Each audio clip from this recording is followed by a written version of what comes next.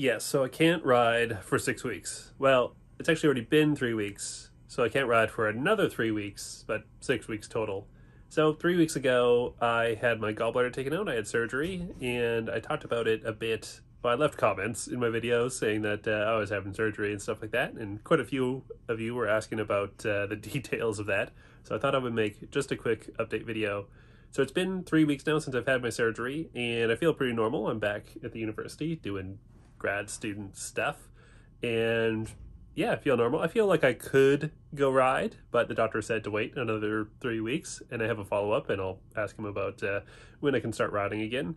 It's just so when you're riding, or basically, they don't want you to lift up anything and hurt the incisions or get a hernia or anything like that.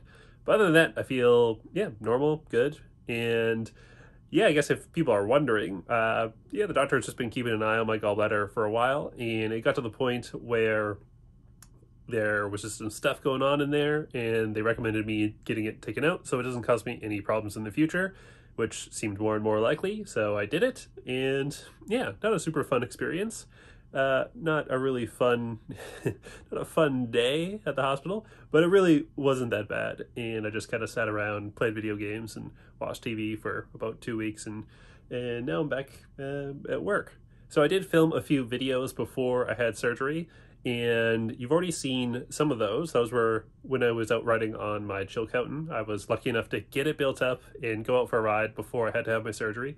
But I actually have another bike, which I'm going to show you guys, and that's going to be the next video. I actually wasn't going to show it on the channel at all. It was just going to be an extra bike I had and kind of rode sometimes.